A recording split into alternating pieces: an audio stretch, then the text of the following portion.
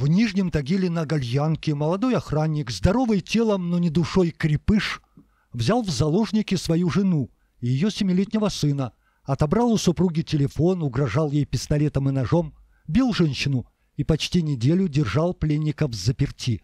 Все это время 29-летний кухонный боксер, мозги которого, похоже, съехали на бекрень ближе к осени, разрешал жене звонить лишь со своего телефона, следил за тем, чтобы супруга не сказала ничего лишнего, и отвечал вместо нее в мессенджерах и соцсетях ее друзьям.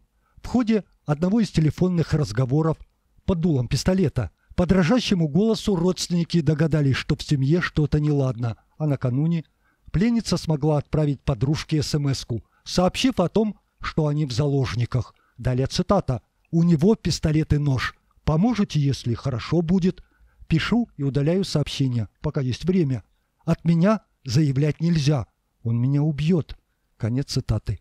Получив это тревожное сообщение, родственники обратились в полицию. Силовики накануне штурмом взяли квартиру в доме на Уральском проспекте, выбили дверь и повязали спятившего охранника.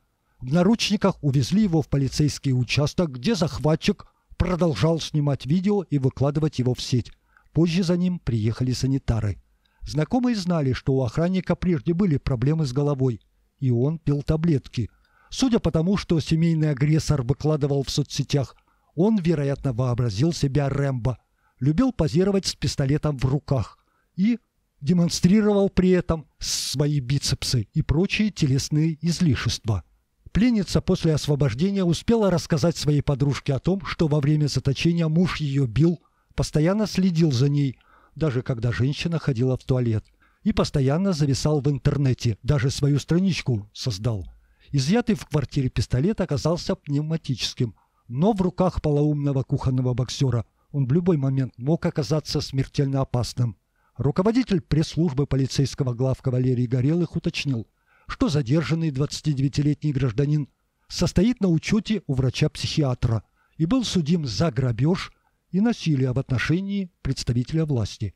Освобожденная пострадалица лишь полгода назад вышла за него замуж, не подозревая о том, что ее ждет.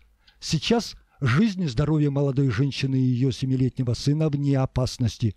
Следственный отдел СКР по Тагилстроевскому району выясняет, были ли в действиях семейного захватчика признаки уголовного преступления по статье о незаконном лишении человека свободы